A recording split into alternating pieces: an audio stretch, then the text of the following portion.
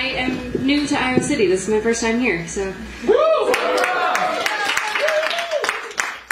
Uh, okay, I'm just gonna dive in.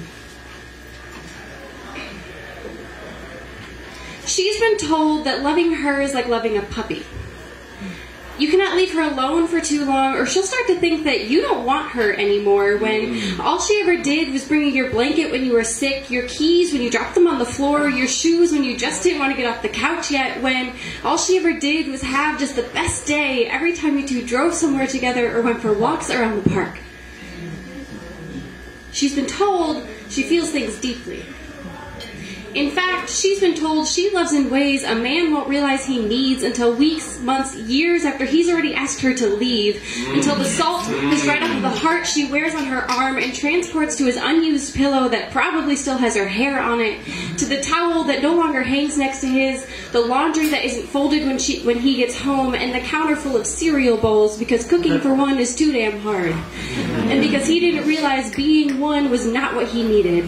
And because he doesn't realize it took her a whole day to be able to speak again, two, to listen to music, three, to get out of bed and shower, four, for that music to have lyrics, five, for her to get out of the apartment, six, for her to put makeup on again because maybe it had a chance of staying on, seven, for her to paste her work smile on again.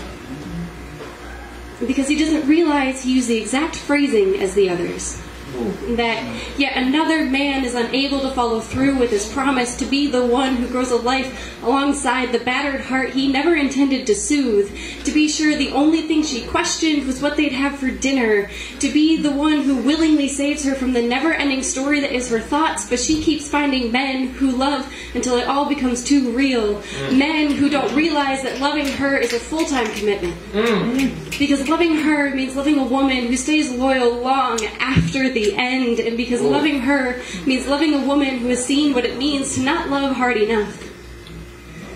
She's been told she feels things deeply, and maybe that's true.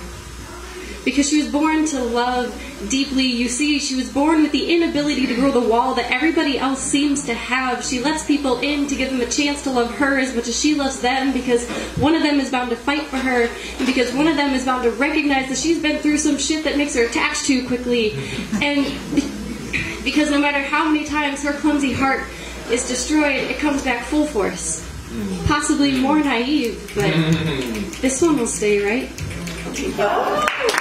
Woo!